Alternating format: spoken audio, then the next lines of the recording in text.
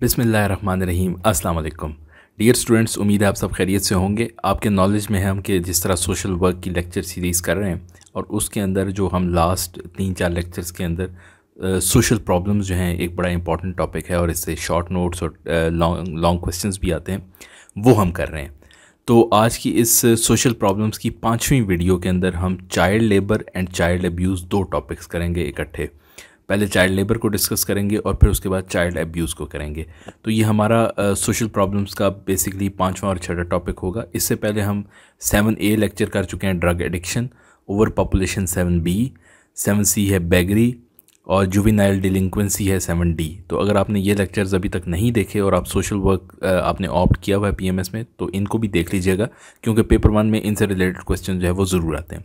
तो बगैर कोई टाइम वेस्ट किए हुए चलिए शुरू करते हैं चाइल्ड लेबर चाइल्ड लेबर सबसे पहले हमने डिफाइन करना है कि चाइल्ड लेबर है क्या।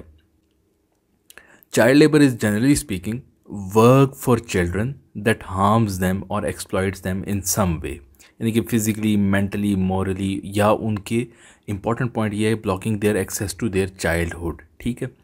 तो जो आम डिस्कशन होती है उसमें आप या डिफरेंट बुक्स के अंदर भी देखेंगे चाइल्ड लेबर और चाइल्ड वर्क के अंदर फ़र्क है। Child work is a different thing जिसके अंदर बेसिकली उनकी जो करियर और ग्रोथ और डेवलपमेंट की अपॉर्चुनिटीज़ हैं, वो ब्लॉक नहीं होती। जबकि चाइल्ड लेबर का बुनियादी तौर पे ये एक नेगेटिव टर्म है, और इसका मतलब ये है कि बच्चों को, बच्चों से इस तरह से काम लेना, जो कि उनको किसी ना किसी तरीके से हार्म करता है, या तो फिज़िकली करता है, जिसमानी तौर पर उनके ऊपर लोड आ जाता है, या जहनी तौर पर तो और, या मॉरली इखलाकी तौर के ऊपर। और या फिर आखिरी कंडीशन ये है कि उनकी एक्सेस टू देर उनका जो बचपना है उससे उनकी जो एक्सेस है वो ख़त्म हो जाती है। ठीक है? तो आपने ये डेफिनेशन इस तरह से लिख देनी है। Child labour is generally speaking work for children that harms them और एक्सप्लॉइट्स दैम इतनी भी लिख देंगे तो ये भी ठीक होगी। ठीक है जी? इन सम वे यानी कि फिजिकली मेंटली मॉरली और by blocking their access to childhood अगर ये डेफिनेशन मुश्किल लगती है तो एक डेफिनेशन और है, आप वो भी लिख सकते हैं। Child labour is defined as work that deprives children of their childhood ठीक है जी? बच्चों को, उनका जो चाइल्डहुड है, उसका वो उस, उसको ख़त्म करता है। देयर पोटेंशल एंड डिग्निटी ठीक है? And that is harmful to their physical and mental development ऐसा काम जो बच्चों को उनके बचपन से महरूम कर दे, उनकी तोानाइयाँ इज़्ज़त और उनकी जिस्मानी और जहनी अफजाइश पर असरानंदाज हो।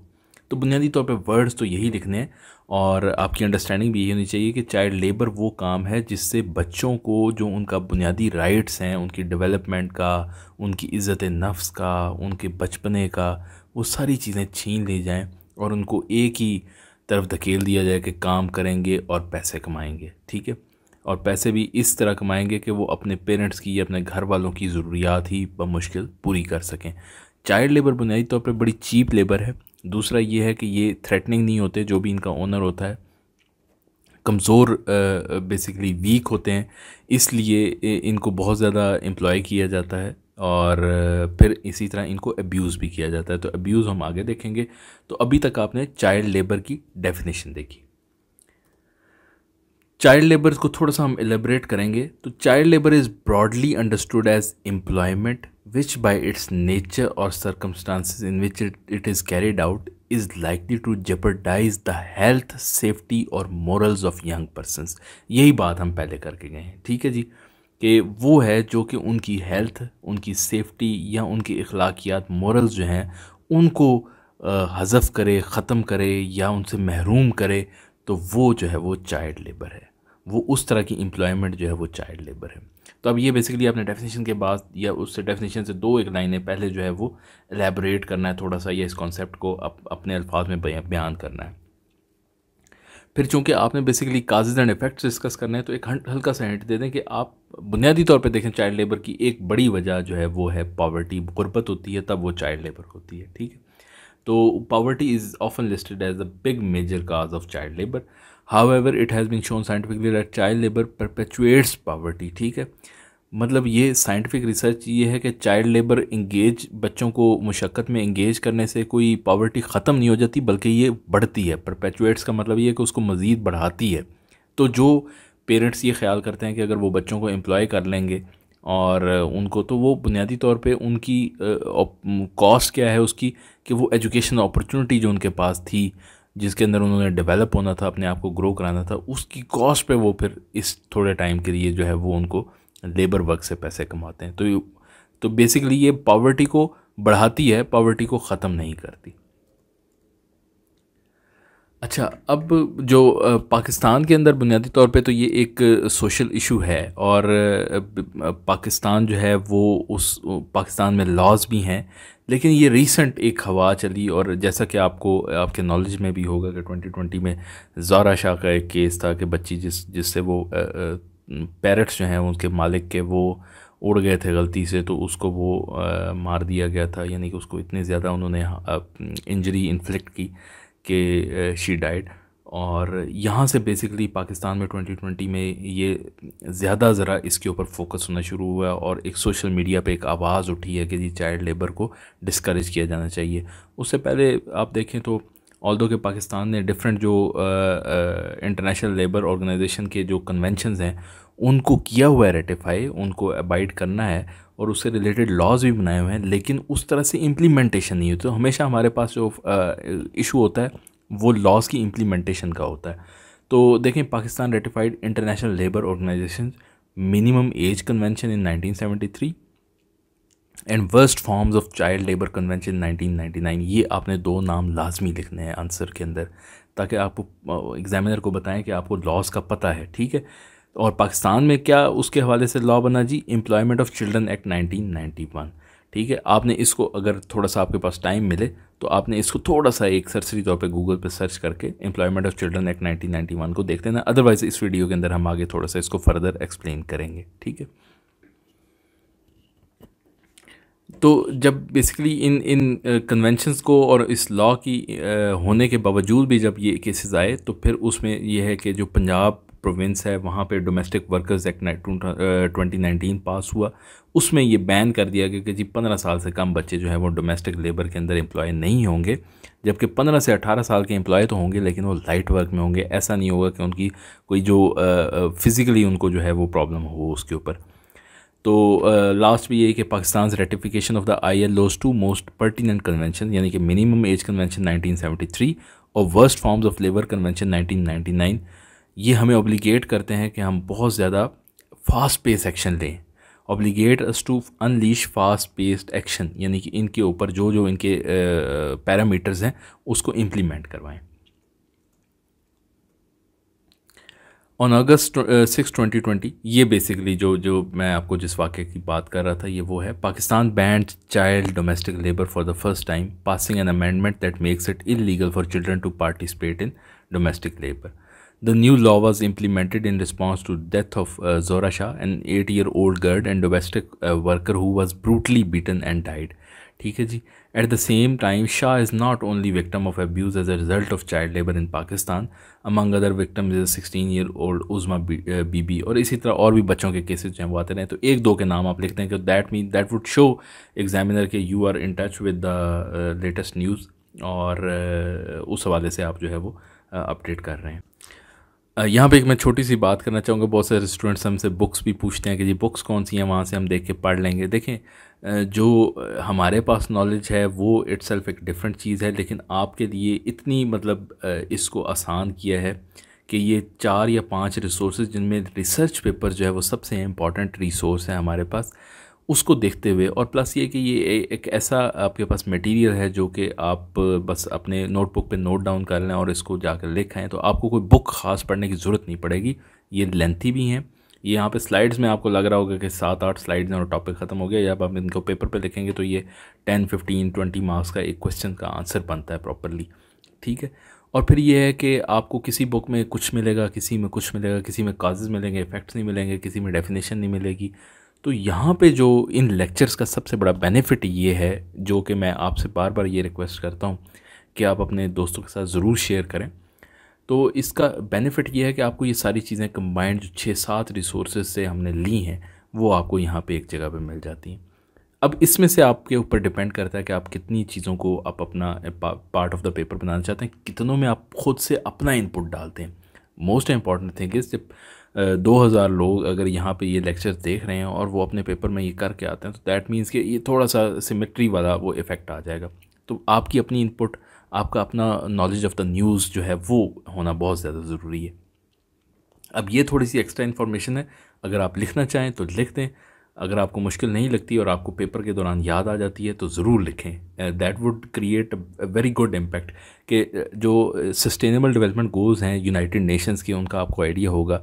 उसका टारगेट 8.7 जो है, वो ये है कि United Nation requires the member states states to take immediate and effective measures to eradicate force labour and modern slavery and human trafficking and secure the prohibition and elimination of the worst forms of child labour आगे हम देखेंगे कि worst forms of child labour क्या है। एक तो child labour हम discuss कर रहे हैं, उसकी वर्स्ट फॉर्म्स क्या हैं। And use of child soldiers and by twenty twenty five end child labour in all its forms ठीक है जी? तो हमने ये ये यूनाइटेड नेशंस का गोल है। तो इसमें आप बेसिकली जब लिखना चाहें एग्जामिनेशन में थोड़ा थोड़ा सा लिख सकते हैं कि जी जो ये ऑल ओवर द वर्ल्ड एक कंसर्न है। ठीक है? और उसके ऊपर यूनाइटेड नेशंस और इसकी सारे मेंबर स्टेट्स ने ये अपना डिसाइड किया हुआ है कि हमने by twenty twenty five child labour को और इस तरह की मॉडर्न स्लेवरी ह्यूमन ट्रैफिकिंग जो है, इन चीज़ों को ख़त्म करना है, ठीक है? तो अगर ये लिख देंगे तो अच्छा एक पॉइंट आपके पास मिल जाएगा। और एक एक बात और मैं कुछ स्टूडेंट्स को बताना चाहूँगा। कि कुछ आप लेक्चर्स देखें अगर, या आप नॉर्मली अकेडमीज़ वगैरह में भी देखें तो डिस्कशन ज़्यादा चल रही होती है। एग्जैक्टली पॉइंट बाय पॉइंट बातें बड़ी कम हो रही होती हैं। तो हमारे इन लेक्चर्स का सबसे बड़ा फ़ायदा ये है कि आप पॉइंट बाय पॉइंट चीज़ों को समझ रहे हैं।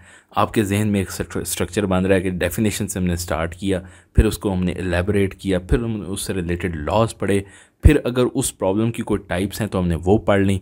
फिर उसके बाद जो हमने काजेज़ पढ़ने इफ़ेक्ट्स पढ़ने और उसके रेमेडियल मैयर्स पढ़ने। ये छः सात जो आपकी आउटलाइन है, इसी के मुताबिक हमने चलना है। हमने कोई इधर उधर की बातें नहीं करनी। इधर उधर की बातें करेंगे तो चाइल्ड लेबर के ऊपर मे भी आप एक ऐसे लिख दें लेकिन वो इरेलीवेंट हो जाएगा। ट्वेंटी मार्क्स का आपको बेसिकली उसको चार, पाँच सफ़ों के अंदर कंप्लीट करना है। और अगर टेन मार्क्स का आ जाएगा तो उसको दो पेजेस के ऊपर आपने कंप्लीट कर देना है और सारी बातें जामे लिखना है, ठीक? तो ये सबसे बड़ा फ़ायदा होगा। अच्छा चाइल्ड लेबर का नंबर जो है, ये यहाँ पे मैं कोट तो कर रहा हूँ, लेकिन इसमें भी आपको एग्जामिनेशन से पहले लेटेस्ट फिगर जो है वो चेक करनी है, और अगर आप लिख सकें तो वहाँ पे लिख दीजिएगा कि इतने जो है वो चाइल्ड लेबर के अंदर इन्वॉल्व हैं पाकिस्तान में। अच्छा अब हम देखते हैं worst form of child labour क्या है, ठीक है? Worst form of child labour basically international labour organisation की कन्वेंशन है, जो ये डिफ़ाइन करती है कि hazardous and morally damaging forms of labour and cause for their immediate and total elimination ठीक है जी? क्या वो कहते हैं? स्लेवरी और similar practice child trafficking force recruitment into arm conflict sexual exploitation drug production and trafficking debt bondage hazardous work that can cause injury और moral corruption तो ये worst forms of child labour है। Child labour वैसे आपने eradicate करनी ही करनी है, लेकिन वर्स्ट फॉर्म को पहले करनी है। ठीक है? कि ये ना हो। अच्छा आई एल ओ के under initiatives I L O की चूँकि हम इसके ऊपर हमने वेबसाइट को देखा तो उन्होंने अपना ये लिखा हुआ था कि हमने कार्पेट वीविंग सॉकर बॉल जो है सर्जिकल ग्लास मैंगल्स वगैरह ये जो ये जो इंडस्ट्रीज़ हैं यहाँ से हमने बहुत हद तक जो है वो चाइल्ड लेबर को ख़त्म कराया। ये पाकिस्तान की बात हो रही है ठीक है? I L O has also responded to rehabilitate child labour in the earthquake affected areas In all these ILO interventions, thousands of child laborers, girls and boys have been rehabilitated through the provision of non formal education and related services तो अब आप ये coat अगर करना चाहें तो coat कर सकते हैं कि जी आई की वेबसाइट के ऊपर ये अवेलेबल है information with respect to child labour in Pakistan ठीक है जी? और फिर उसके बाद उन्होंने एक मॉडल डेवलप किया डिस्ट्रिक्ट मॉडल अप्रोच जिसमें वो डिस्ट्रिक्ट गवर्नमेंट के साथ मिल के जो है लोकल लेवल के ऊपर चाइल्ड लेबर की रेडिकेशन के लिए काम कर रहे हैं। तो this is an extra point अगर आपको पेपर में याद आ जाता है या आपके पास स्पेस है तो आप लिख दें अदरवाइज़ कोई बहुत ज़्यादा ज़रूरी नहीं अब आ जाते हैं हमारी जो सबसे इंपॉर्टेंट बात है काजेज़ ऑफ़ चाइल्ड लेबर कोई डिफ़िकल्ट नहीं है, ज़रा भी। बिल्कुल ये टॉपिक बहुत इजी था और अगर अभी मैं आपसे पूछूँगा चाइल्ड लेबर के काजेज़ आपको क्या समझ आते हैं तो आप बड़े आराम से बता देंगे। इसकी हमने दो डायमेंशन डिस्कस किए हैं। एक जियोग्राफिक है और एक वैसे जो हमारे सोशल डायमेंशन है, उसके ऊपर डिस्कस किया। तो रूरल एरियाज़ और urban areas rural area areas में बुनियादी तौर पर यह है कि लोग वो जो मज़ारे हैं, वो काम कर रहे होते हैं किसी मालिक की ज़मीन के ऊपर, उनका हाफ़ जो है वो शेयर होता है, या अपनी भी ज़मीन हो तो वो थोड़ी सी होती है। तो लेबर की बहुत ज़्यादा नीड होती है वहाँ पर ठीक है? तो आपने अक्सर गाँव में देखा होगा देहातों में कि ख़वातीन भी काम कर रही होती हैं। तो बुनियादी तौर पर ये नहीं है कि वो वहाँ पर रिक्वायरमेंट ऑफ़ द लेबर यानी कि जो एग्रीकल्चर फार्म है, उसके ऊपर लेबर बहुत ज़्यादा। हमारे पास तो वो टेक्निक्स टूल्स वगैरह, वो इंस्ट्रूमेंट्स और वो मशीनरी वगैरह नहीं है। इसलिए जो है वो इंगेज कर देते हैं फ़ीमेल्स को भी और बच्चों को भी।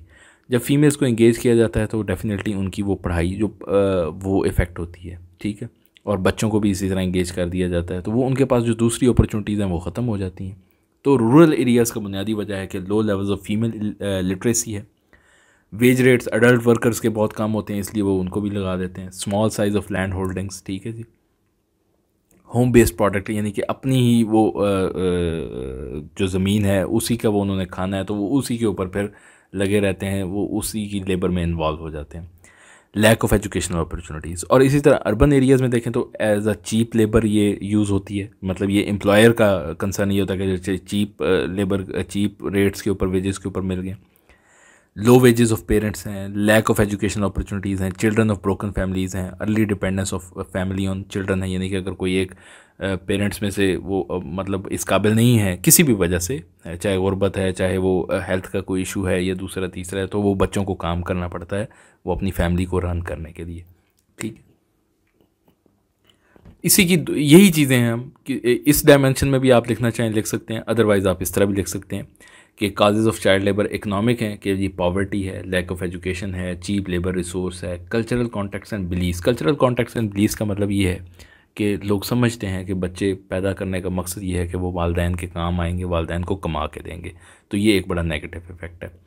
और एक बहुत इंपॉर्टेंट है जो कि आपने भूलना नहीं ineffective laws and their implementation यानी कि लॉ अब आके इम्प्लीमेंट हुआ है, लेकिन वो भी इस कदर स्ट्रिंजेंटली इम्प्लीमेंट नहीं हुआ जिस तरह होना चाहिए था। यानी कि कोई चेक एंड बैलेंस नहीं है कि वर्कशॉप्स में देखा जाए, दुकानों पे देखा जाए होटल्स में देखा जाए रेस्टोरेंट्स पे देखा जाए इंडस्ट्रीज़ में स्मॉल मीडियम इंडस्ट्रीज़ के अंदर देखा जाए कि किस उम्र के लोग काम कर रहे हैं। और फिर सबसे इंपॉर्टेंट बात है कि डोमेस्टिक जो वर्कर्स है, जो डोमेस्टिक घर के अंदर यूज़ होते हैं, वो कोई चेक एंड बैलेंस नहीं है। लोग मजबूरी का फ़ायदा उठाते हैं, बच्चों को रख लेते हैं अपने साथ, फिर उनके साथ मतलब किसी न किसी तरह से वो डेफिनेटली ज़्यादती होती है। उनकी वो ग्रूमिंग के ऊपर मेंटल डेवलपमेंट के ऊपर बड़ा इफ़ेक्ट पड़ता है। इसी तरह फैमिली इश्यूज़ भी हैं कॉजेज़ क्या लो इनकम ऑफ़ पेरेंट्स है, या ब्रोकन फैमिलीज़ हैं कॉन्फ्लिक्ट हुआ हुआ है, ठीक है? जेंडर डिस्क्रिमिनेशन यानी कि फ़ीमेल्स बच्चियाँ जो हैं, उनको ज़्यादातर वो घरों में काम के लिए लगाया जाता है। और होम बेस्ड प्रोडक्शन का वही मतलब है कि अगर आप वो ज़मीनों पे काम कर रहे हैं तो वो उनकी अपनी ही है। तो वो उस प्रोडक्शन के लिए वहाँ पे लेबर की रिक्वायरमेंट पूरी करने के लिए वो जो है, वो बच्चों को इंगेज कर लेते हैं। तो ये काजेज़ ऑफ़ चाइल्ड लेबर है। उम्मीद है आपको दस बारह उसमें पेपर में आप लिखेंगे तो ये एक अच्छा इफ़ेक्ट डालेगा। रेमेडियल मैयर्स क्या हैं? पॉवर्टी लेवल को रिड्यूस करें एजुकेशनल अपॉर्चुनिटीज़ को इंक्रीज़ करें। जो लॉज हैं गवर्नमेंट के, वो स्ट्रिक्टली इम्प्लीमेंट होने चाहिए, ठीक है जी? और डोमेस्टिक जो employment of school going children है, वो पर्टिकुलरली उसके अंदर देखी जानी चाहिए। एम्प्लॉयमेंट अपॉर्चुनिटीज़ फॉर अडल्ट बढ़ा दें, वो खुद ही एक इंडिपेंडेंट अच्छी फैमिली बन जाए तो वो बच्चों को काम पर लगाएँ ही ना, ठीक है? एन जी ओ सेक्टर को सपोर्ट किया जाए गवर्नमेंट की तरफ़ से कि वो चाइल्ड लेबर को इरेडिकेट करने के लिए हेल्प आउट करे, ऐसे प्रोग्राम्स चलाए, ठीक है? Manufacturer and companies which employ child labour यानी कि तो आपने पाकिस्तान के अंदर भी सुना होगा आई एल ओ की तरफ़ से और डिफरेंट जो डेवलप्ड कंट्रीज़ हैं उनकी तरफ़ से कुछ रिस्ट्रिक्शंस लगाई गई कि अगर जिन जिन कंपनीज़ के अंदर, जिन फैक्ट्रीज़ के अंदर चाइल्ड लेबर होगी वहाँ का प्रोडक्ट जो है वो एक्सपोर्ट नहीं होगा। तो इस तरह की चीज़ें जो हैं ये as a remedial measures use हो सकते हैं। ठीक है? तो यहाँ पे हमारा चाइल्ड लेबर का टॉपिक ख़त्म होता है और अब हम शुरू करते हैं चाइल्ड अब्यूज़ चाइल्ड अब्यूज़ बड़ा शॉर्ट सा है। बेसिकली तो आपने जो फैक्टर्स काजेज़ वगैरह हैं तो वही कुछ हैं। हम सिर्फ़ जो इंपॉर्टेंट चीज़ पढ़ेंगे वो इसकी डेफिनेशन पढ़ेंगे और इसकी टाइप्स पढ़ेंगे कि किस टाइप्स की होती हैं। और फिर इसके अंदर वो जो बेसिकली चाइल्ड अब्यूज़ जो बेसिकली जो अफेक्टेड बच्चा है, उसकी जो दोबारा उसको ऑन ट्रैक करने के लिए कुछ थेरेपीज़ होती हैं तो हम वो टाइप्स पढ़ेंगे। Child abuse is a non accidental यानी एक्सीडेंटल इतफाकाना नहीं नॉन एक्सीडेंटल जानबूझ के। ट्रॉमा और injury inflicted by a parent और caretaker on a child यानी कि किसी भी तरह से जानबूझ के एक ट्रॉमा एक धचका, एक शौक जो है वो बच्चे को दिया जाना, या जो फिज़िकली मार के दिया जाए इमोशनली हर्ट करके दिया जाए, ठीक है? सेक्सुअली एक्सप्लॉइट करके दिया जाए तो वो होता है। अब वो पेरेंट और केयर टेकर खुद ना करे और कोई और कर दे, तब भी वो चाइल्ड अब्यूज़ है। Like it also includes parents और caretakers failure to protect a child यानी कि अगर वो फेल हो गया एक बच्चे को बचाने में किसी दूसरे के ऐसे करने पे तो दैट मीन्स वो भी चाइल्ड अब्यूज़ का शिकार हो गया वो चाइल्ड जो है, वो अब्यूज़ का शिकार हो गया। Protect a child from another who perpetrated who perpetrated physical abuse होना चाइल्ड यानी कि जैसे वडेरा है कोई, ठीक है, वहाँ पे जो उसके पास काम करता है उसके बच्चे को इफ़ेक्ट हो गया है इस तरह तो वो वो जो उसके पास काम करता है, वो नहीं रोक सका। तो दैट मीन्स वो बच्चा जो है वो एब्यूज़ हो गया चाइल्ड नेगलेक्ट एक थोड़ा सा लेस हार्मफुल है चीज़, लेकिन इसका भी इफ़ेक्ट उसी तरह पड़ता है। Neglect is the failure of a parent guardian और any other caretaker to provide for child basic needs ठीक है? बच्चे बड़े मासूम होते हैं। फ़िज़िकल यानी कि उनकी फ़ूड शेल्टर सुपरविजन उनके न्यूट्रिशन की ज़रूरत होती है। वो चीज़ें आप देखें, आप अपनी सोसाइटी के अंदर देखें। मेडिकल उनकी health and medical facilities educational opportunities और इमोशनल सबसे इंपॉर्टेंट ये है कि बच्चों में इमोशनल जो है डेवलपमेंट वो बड़ी ज़रूरी होती है। साइकोलॉजिकल यहीं पे बच्चे जो है वो या तो वो एक अच्छी सोसाइटी का पार्ट बनते हैं या फिर वो जिस तरह के ड्रग्स वगैरह में लग जाना या बेकरी में लग जाना या फिर उसके बाद अदर जो डिफरेंट किस्म की जो डिलिंक्वेंसीज़ हैं, वहाँ पे इन्वॉल्व हो जाते हैं। तो ये इनके इफ़ेक्ट्स डिफरेंट डिफरेंट हैं। अच्छा टाइप्स ऑफ़ चाइल्ड अब्यूज़ देखें तो फ़िज़िकल अब्यूज़ है बेसिकली वही non accidental injury minor bruises यानी मारा है या सख्त फ्रैक्चर्स आ गए हैं या even in the worst case scenario है जी वो डेथ हो गई है। As a result of physical harm by a person who has the responsibility of the child यानी कि वो पेरेंट है या पेरेंट के पास uh, मतलब पेरेंट जहाँ पे एम्प्लॉयड है कोई भी बंदा है uh, तो वो अगर इस तरह का फ़िज़िकल इंजरी जो है वो करेगा तो वो फ़िज़िकल अब्यूज़ में आ जाएगा। सेकंड इज़ सेक्सुअल अब्यूज़ ठीक है? ये भी आप मतलब डेफिनेशन से आपको आइडिया हो गया होगा कि किस तरह से ये बच्चे जो हैं उनको डिफरेंट किस्म की जो एक्टिविटीज़ में इन्वॉल्व किया जाता है forcefully third is emotional emotional abuse a behaviour that hurts child emotional development और सेंस ऑफ़ सेल्फ वर्थ अपनी इज़्ज़त, नफ्स, बेचारा, खो बैठता। है कॉन्स्टेंट क्रिटिसिज्म यानी कि डांट, टपट, इन चीज़ों से भी बच्चा तंग आ जाता है। तंग आता है, वो फिर बाहर जाता है सोसाइटी उसको गलत मिलती है तो वो गलत रास्ते पर चल पड़ता है। तो बेसिकली जो पेरेंटिंग है, एक बहुत बहुत बड़ी ये आर्ट भी है और साइंस भी है, ठीक है? Parenting is not an easy thing तो हमारे माशरे के अंदर जो बच्चे थोड़ा सा डिविएट हो जाते हैं अपनी उस रस्ते से, सही रास्ते से, उसमें कहीं ना कहीं रोल जो होता है, वो उसके इन्वायरमेंट का होता है और इन्वायरमेंट में प्राइमरी इन्वायरमेंट जो है, वो उसकी फैमिली होती है और फैमिली में भी सबसे प्राइमरी होता है, वो पेरेंट्स होते हैं बहन भाई होते हैं। तो इन चीज़ों का हमारे माशरे में ख्याल करना बहुत ज़्यादा ज़रूरी है। Being an officer in the government sector और जिसने इन सबको डील करना है, आपको इन चीज़ों का नॉलेज होना बहुत ज़्यादा ज़रूरी है कि मसला ख़राब कहाँ से होता है और वो चलते चलते कहाँ तक जाता है। यानी कि जुर्म की अगर आप जड़ पड़ने लगें, पकड़ने लगें तो वो यहाँ ही कहीं आके मिलती है आपको। तो इस लिहाज से ये बहुत इंपॉर्टेंट चीज़ है।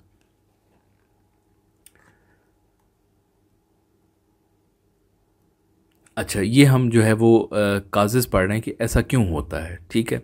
बेसिकली इकोनॉमिक स्ट्रेस है in the family parents usages of drugs है इलिट्रेसी है अनअवेलेबिलिटी ऑफ़ रिसोर्स की वजह से बच्चों को निगलेक्ट कर रहे हैं लार्ज साइज़ ऑफ़ फैमिली है उसकी वजह से, या फिर फाइनेंशियल कंस्ट्रेंट्स हैं उसकी वजह से तो मल्टीपल रीजंस हैं जिसकी वजह से बच्चे नेगलेक्ट होते हैं और एब्यूज़ होते हैं फिर। डेफिनेटली एब्यूज़ uh, का एक मतलब वो सोर्स जो है वो चाइल्ड लेबर है कि जब आपने आप बच्चा जो है वो कहीं और काम करने गया तो वहीं पे जाके वो एब्यूज़ होना शुरू होता है। अच्छा इसके इफ़ेक्ट्स क्या हैं? एक तो ये है कि साइकेट्रिक प्रॉब्लम्स उनके साथ बच्चों को जहनी जो है इश्यूज़ वो होना शुरू हो जाते हैं एंगजाइटी डेवलप कर लेते हैं डिप्रेशन एक जो उनके अंदर अतमाद होता है, वो ख़त्म हो जाता है, ठीक है? फिर इसी तरह कुछ बच्चे चिड़चिड़े हो जाते हैं, इस तरह की सुन सुन के बातें और फिर वो चिड़चिड़ापन उनके अंदर डेवलप हो जाता है। और आखिरी जो लास्ट स्टेज वो मतलब ये डिलिंक्वेंसी की तरफ़ जाते हैं ड्रग्स के ऊपर लग जाते हैं या बैगरी के ऊपर लग जाते हैं, घर छोड़ के भाग जाते हैं लड़ते हैं, झगड़ते हैं मुख्तफ क्राइम्स में इन्वॉल्व हो जाते हैं तो वो सारे प्रॉब्लम्स बेसिकली यहाँ से स्टार्ट होते हैं। जो बच्चे अब्यूज़ होते हैं, उनका डेफिनेटली उनको जब आपने ट्रीट करना है तो वो किस तरह से लाइक ये है कि जो बच्चे बुनियादी तौर पे सेक्सुअली अब्यूज़ होते हैं, उनके लिए trauma focused cognitive behavioural therapy है, ठीक है? ये post traumatic stress disorder PSTD जो है, उसको ट्रीट करती है। जब वो बच्चा उस ट्रामा से निकलता है रेप हो गया बच्ची का तो उसके बाद जो है वो उसको उस सिचुएशन से निकालने के लिए ये trauma focused cognitive behavioural therapy use होती है। Abuse focused behaviour therapies for children who have suffered physical abuse यानी कि उसमें आप ये है कि उसकी ट्रीटमेंट वगैरह करते हैं और ट्रीटमेंट करने के बाद उसको ये अतमाद दिलाते हैं कि अब तुम्हारे साथ ऐसा नहीं होगा, ठीक है? तो नेक्स्ट है लास्ट जो है वो बेसिकली चाइल्ड पेरेंट साइकोथेरेपी उन बच्चों के लिए जो बेसिकली पेरेंट्स जो हैं, जिनका मतलब बच्चों का अतमाद नहीं होता अपने पेरेंट्स पे, या पेरेंट्स बहुत ज़्यादा एंगर शो करते हैं हर टाइम जो बेसिकली डांट, डपट और इस तरह से है। सेटिस्फाइड नहीं होते बच्चे से। और एक बच्चे और चाइल्ड जो पेरेंट है, उसके दरमियान एक गैप आ जाता है। वो भी एक बड़ा ऑड सी चीज़ हो जाती है, जो कि एक रिलेशनशिप को ख़राब करती है। तो इस तरह बेसिकली ये थ्री टाइप्स ऑफ़ थेरेपीज़ हैं। दोबारा मैं आपको रिवाइज़ करवा देता हूँ। Trauma focused cognitive behavioural therapy for sexually abused children abuse focused for जो, जिनको फिज़िकली अब्यूज़ किया गया है, ठीक है? And third is child parent psychotherapy जिनमें child parent relationship due to emotional support ना मिलने की वजह से पेरेंट्स की तरफ़ से उन बच्चों को ट्रीट करने के लिए चाइल्ड पेरेंट साइकोथेरेपी यूज़ होती है। तो अगर ये आ जाए तो आपने थोड़ा बहुत ये थेरेपीज़ के नाम ज़रूर लिखने देखें, एक एक स्टूडेंट जिसने सोशल वर्क नहीं पढ़ी और बेशक वो बहुत अच्छा स्टूडेंट है साइंसेस का है डिफरेंट और सब्जेक्ट्स का है तो वो ये टर्मिनोलॉजी ख़ास इसका जारगन है इस सब्जेक्ट का, ठीक है? ये लिखना बहुत ज़्यादा ज़रूरी है। तभी एक जो एग्ज़ामिनर है, उसको आइडिया होगा कि आप सोशल वर्क के स्टूडेंट हैं या आपको सोशल वर्क का पता है या आपको इसकी चीज़ों का, इसकी थ्योरीज़ का, इसके बेसिक्स का आइडिया है। तो ऐसा नहीं है कि अगर आपने बीएस में या एम लेवल पर सोशल वर्क पढ़ी नहीं है तो आप ये नहीं लिख सकते। ये लेक्चर वीडियोस आपको मतलब इसमें मतलब ये आपको इस तरह से प्रेजेंट की जा रही हैं कि आपको लगे ना कि ये आपके लिए कोई डिफ़िकल्ट चीज़ है। और आई होप आप अपना फ़ीडबैक ज़रूर हमारे साथ शेयर कीजिएगा। अगर आप समझते हैं कि कोई चीज़ मुश्किल थी या कोई चीज़ आपको अंडरस्टैंडिंग नहीं हुई तो आप हमें ज़रूर बताइएगा। इन हम उसके ऊपर भी वर्क करेंगे और आपको उस हिसाब से प्रिपरेशन करवाएँगे। तो इसके साथ ही हम अपना आज का लेक्चर ख़त्म करते हैं इन जल्द ही मज़ीद नेक्स्ट वीडियोस के साथ आएँगे। आपकी, आप, एक चीज़ इंपॉर्टेंट ये है कि आपने हमें सजेस्ट करना है कि अनएम्प्लॉयमेंट, पॉवर्टी और जो बाकी इश्यूज़ रह गए हैं, उसके ऊपर क्या हमें लेक्चर बनाने की ज़रूरत है या वो आप ऐसे वगैरह में डिफरेंट अदर सब्जेक्ट्स के अंदर कवर कर लेंगे और हम जो है वो अब सोशल वर्क जो पेपर टू है उसके ऊपर चलते हैं। तो ये आपने हमें कमेंट्स में ज़रूर बताना है। Thank you so much.